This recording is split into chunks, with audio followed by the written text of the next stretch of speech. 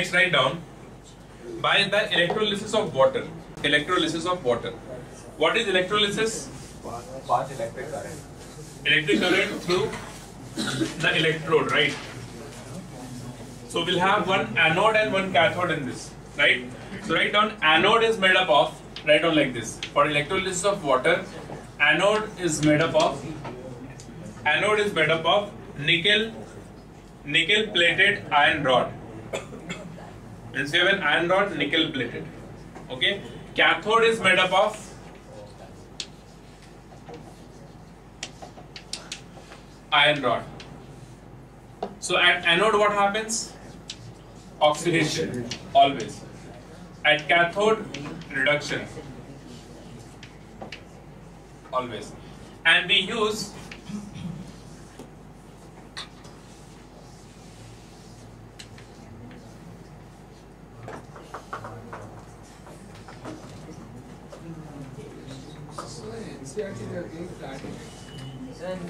plated iron rod we can also. We can also use this also. Platinum and nickel plated iron both we can use. Other books also they have given this. So we have one more electrode here. Okay. Now this electrode, one of the electrode is anode and other one is cathode. I'll just explain how this works. Okay. This electrode is connected through an external voltage source. Okay, external voltage source. This electrode, which is connected to the positive end, the electrode is anode. In electrolysis, the electrode which is connected to the positive end is anode, and this one is cathode. And we use NaOH aqueous NaOH solution here, or we can also use H2SO4 because pure water is bad conductor of electricity. To make it good conductor, we mix some amount of NaOH or H2SO4. 10% NaOH or H2SO4 we can mix. Okay. Now what all ions are present here in the solution? We have OH minus.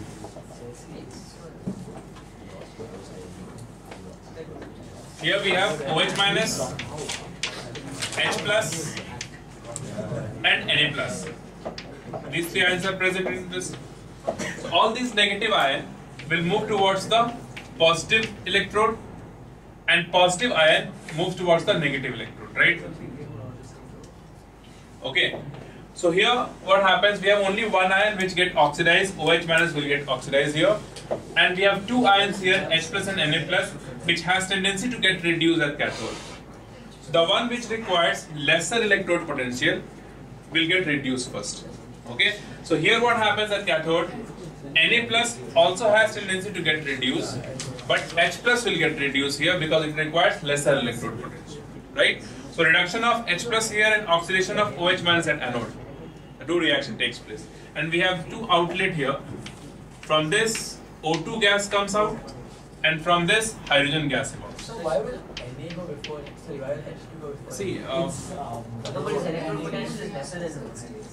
जो सुखा manager ही होगा ठीक है? That will reduce cost NA plus C both compete करेगा यहाँ पे for reduction the one which requires lesser energy उसका reduction easy होगा. Why H plus have lesser energy why does require उसके लिए we will discuss that in electrochemistry electrode potential में hydrogen electrode is assumed to be the reference and the electrode potential of hydrogen electrode is assumed to be zero in nature So if you have less than zero, then if, if, if this electrode potential of H plus is more than to that of Na plus, then this will get under get, go under reduction. If this is more, then this will go under reduction. And there is one more term there that is over potential. So over potential, we will we'll discuss that. Cutting electrochemistry, discuss, right? But usually, what happens? The ions which are competing with each other depends upon the electrode potential. One will get oxidized or reduced. Okay. So here, oxidation of OH minus takes place, and reduction of H plus takes place. The reaction of anode, you write down. The reaction of anode will have OH minus. 2 OH minus converts into H2O plus half O2. 2 OH minus converts into H2O plus half O2 and 2 electron goes out. This is the reaction at anode oxidation reaction, you see the electron is getting released, right? And that H plus will take this two electron, 2H plus plus 2 electron converts into H2 gas. This is the reaction.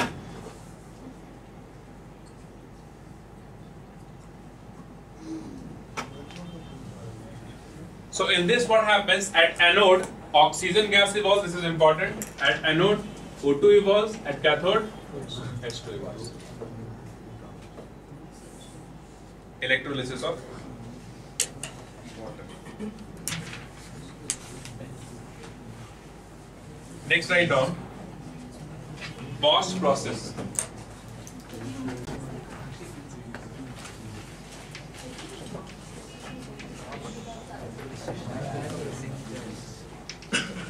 Bosch process. Catalyst use nickel. Catalyst is nickel.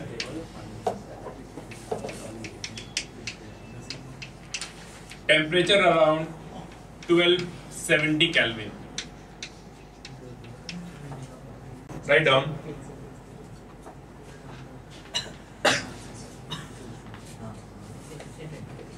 Write down in this reaction, superheated steam The temperature is 1270. 1270. In this reaction, superheated steam is passed over is passed over red hot coke carbon solid coke. So the reaction is carbon solid plus steam H2O converts into CO plus H2. The reaction is the reaction is endothermic in nature. Okay. This we call it as this mixture. We call it as water gas.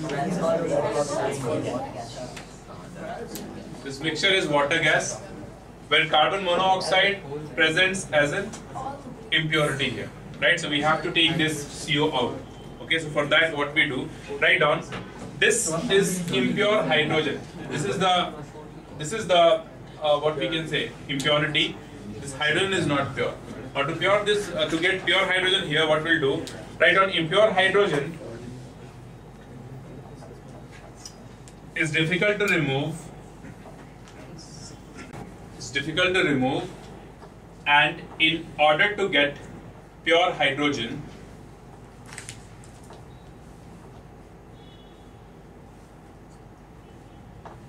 in order to get pure hydrogen, carbon monoxide, write down like this, in order to get pure hydrogen, uh, we have to oxidize CO into CO2, carbon monoxide into carbon dioxide. The catalyst used for this purpose is iron chromate. To oxidize CO into CO2, we use iron chromate that is FeCrO4. Iron chromate is the another catalyst we use here to oxidize carbon monoxide into carbon dioxide. Water gas, we also call it as syngas or synthesis gas. That is also another name. Syngas or synthesis gas. All three are same. Water gas, syngas, synthesis gas. Okay. So with the help of this FeCrO4, carbon monoxide oxidizes into carbon dioxide and that escapes easily into the atmosphere and we get the pure hydrogen. So this plus H2O in presence of FeCrO4 gives you CO2 plus 2H2. This escapes and we get the pure hydrogen. Okay. Thermal cracking also we can use hydrocarbon cracking of hydrocarbon for the preparation of uh, hydrogen. So you must remember this one is important.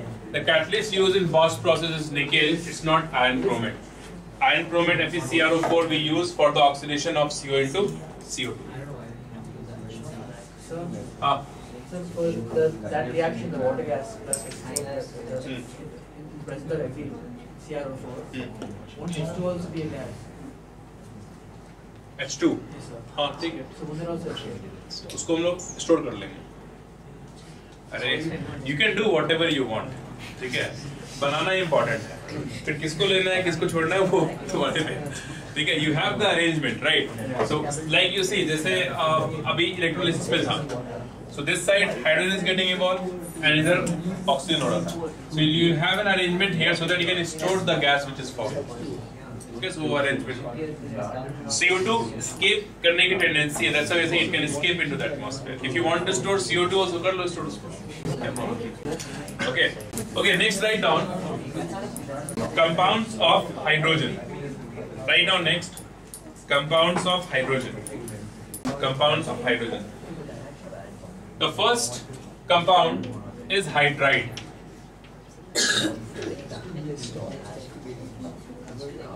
okay hydrogen forms generally three types of hydrides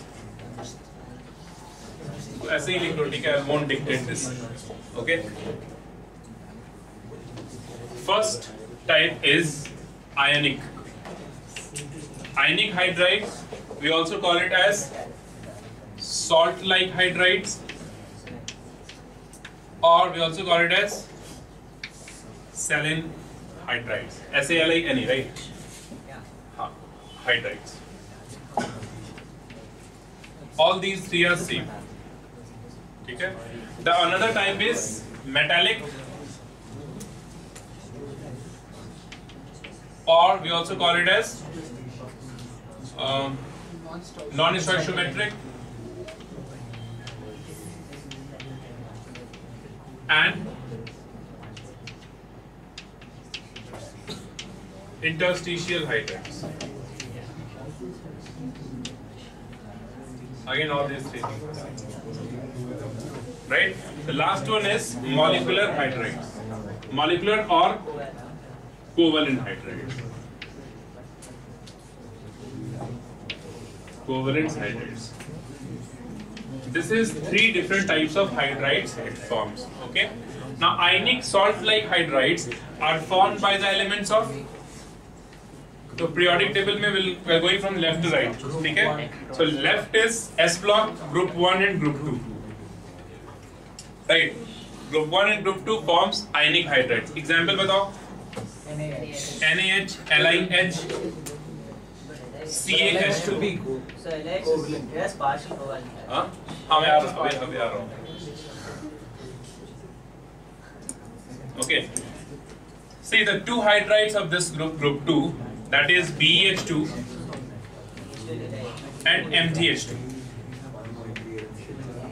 BH2 and MgH2 LiH2 is also their partially covalent characteristics but it is not that uh, great right but BH2 it is covalent this is an exception Okay, so this is uh, BeH2. BeH2 is covalent hydride. It is an exception. We can also discuss the logic behind this. We'll discuss that. But it is covalent hydride, and the exact answer for this one, it is partially covalent and partially ionic.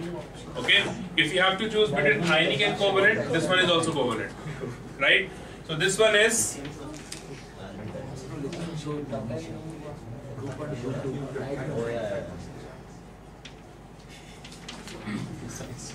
if this option is given, then we'll go with this for magnesium. Okay. If you have to choose between covalent and ionic, we'll go with covalent. It is not an ionic. Okay. Why it is covalent? Because of the small size of beryllium, Be2 plus. Because of its small size, it polarizes the hydride ion. Right. And because of polarization, we know Fajan's rule, right? polarization leads to covalent characteristics. So reason behind this is what? Polarization here and here also because beryllium has the smallest size in that group, BeH2, right? Because of Fajan's rule, polarization, this is covalent, this is partially covalent, partially ionic. Okay? So with these two exceptions, all other elements are considered to form ionic hydrides. Okay, here हो गया first part. Okay? Second part, metallic is what? Metallic is D block elements, right? So write down here, it is mainly formed by, here write down, mainly formed by D block elements, mainly formed by D block elements. Few examples we have, VH 0.56 is possible, and another one is VH2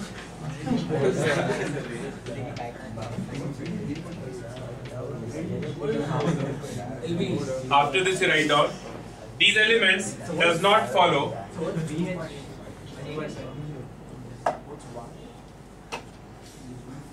These elements does not follow law of constant composition. Law of constant composition. Okay? So all these three types these type of hydrides form. Like carbon oxygen composition if you see can form CO and CO2 both so constant composition law does not follow same thing here Zero point five eight also, I think. इसको है तो कुछ भी लिखिस नहीं होगा ना हो रहे हो तो Sir, but like why zero point five six? अरे ये composition you have a definite proportion of vanadium and hydrogen at a condition right so उसके corresponding अगर बुरा लग रहा है तो मत लिखो यो ये लिख दो that is also written right और बढ़िया लिखना है तो we हाँ that's what so because it has a definite at a definite condition इसका एक composition होगा vanadium और hydrogen का so this can form this hydride and this hydride is also possible and that's why we say they do not follow the constant law of composition अब point five eight क्यों नहीं है? Because वो नहीं आ रहा होगा point five eight right so when the two elements combine उसके लिए will have a certain condition उसके लिए this like this ratio is also possible for this combination this is also possible so different different types of forms okay like carbon forms carbon monoxide and carbon dioxide ठीक है? इतना important नहीं है। We can change the condition हाँ। then the uh, go, the is number next to possible. h can be anything. हाँ Anything between 0.56 and 2 can be anything. As long as we can. Uh, Ah, right, you can do because the lattice structure changes. Yeah. Uh, I- I'm not going to that depth. When you change the temperature, the lattice structure will change. Oh, I have one more question. When we approach absolute zero, why does water's lattice become a square? Uh, square बन जाता है, अच्छा. Absolute zero temperature, all kind of motion freezes, right? Like there is no vibrational motion, there is no translational, nothing is there, right? So But it can remain a hexagon. Why does it become a square? hexagon क्यों why? So normally around zero degrees Celsius. No, around zero degrees Celsius it is a hexagon. But then when you reach absolute zero. Excellent Q, water molecules though this is. Yeah, sorry, I, I zero degrees. It's a hexagon. Okay. yeah, but when it becomes super cold around uh, absolute zero, it suddenly becomes a square. I don't like. Actually, like, I don't have any idea. Find out. देखते हैं. मैं क्या बात कर रहा था? हाँ, one more thing you see. Uh, from uh, see this one is important. बहुत बार पूछा एग्जाम में. From group six to group nine. Right on. Group six to group nine. Right, group 6 to group 9, there is only one element that is chromium which forms this kind of hydrides. Okay, group 6 to group 9, only one element which is present in group 6 forms, which is chromium, forms this kind of hydrides and hence from group 6 to group 9 is known as hydride gap. So question I exam about what is hydride gap. It is observed in from group 6 to group 9. Chromium is the only element in this group, in this range, which forms this hydride. A reason is that only the lattice structure and conditions. Huh? See, when you when you go left to right, okay, left to right when you go, there are many things. We'll have ionization potential changes, size changes, electrons in the inner shell also changes, right? So that affects the property of the elements. How, how the two elements combine by the exchange of electron, sharing or, or transfer of electron, right? So for that, what happens? All these conditions, what I said, size, number of inner shell electrons, has a has an effect on this okay under given condition right so that is why it is not forming for all the elements only for chromium so 6 to 9 we call it as a hydride gap only chromium forms this hydride okay huh. So six to nine, do are there no hydrides formed or only no metal? only chromium forms hydrides Okay, so but the, can the others form like ionic or molecular hydrides? 6 to 9 chromium forms hydrides of this type. Ionic molecular won't form. All elements does not form any kind of hydrides except chromium 6 to 9. Third one write on covalent hydrides. Covalent hydrides is for it is mainly obtained by p block elements, right? S block, D block, and P block elements. Okay. So P block elements. In this also we have three different types of hydrides. Electron deficient, electron precise, and the last one is electron rich.